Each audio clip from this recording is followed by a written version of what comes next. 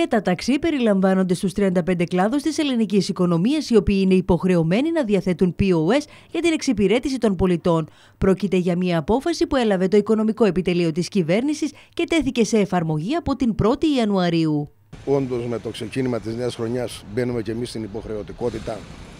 Κάτι το οποίο δεν είμαστε και αντίθετοι εμείς ως κλάδος. Ήδη εδώ στα Χανιά έχουν τοποθετηθεί τέτοια μηχανήματα στα αυτοκίνητα περίπου στο 50% του κλάδου.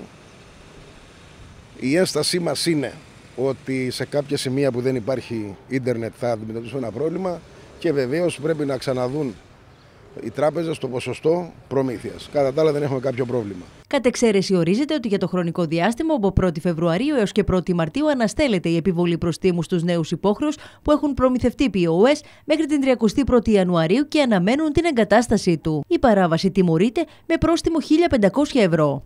Πρέπει συναδέλφοι οι δικοί μου να κάνουν ήδη να ξεκινήσουν από σήμερα να κάνουν παραγγελίες μέχρι και 31 ε,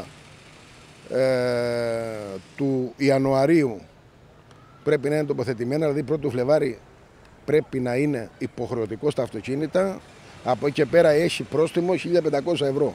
Αν όμως κάποιοι για κάποιους λόγους ή από καθυστερήσει των υπηρεσιών ή της τράπεζας δεν τα έχουν τοποθετήσει, έχουν όμως αποδεικτικά στοιχεία ότι έχει ξεκινήσει η διαδικασία της παραγγελίας, τότε θα γλιτώσει το πρόστιμο. Αλλά όπως και να έχει, μέχρι το Μάρτιο πρέπει να είναι έτοιμα τα αυτοκίνητα να έχουν το μηχάνημα μέσα. Το μέτρο επίσης αφορά μεταξύ άλλων υπαίθριους πολιτές σε λαϊκές αγορές ή πανηγύρια, πολιτές σε περίπτερα και ψιλικατζίδικα, ασφαλιστικές και διαφημιστικές εταιρείες, θέατρα και κινηματογράφους.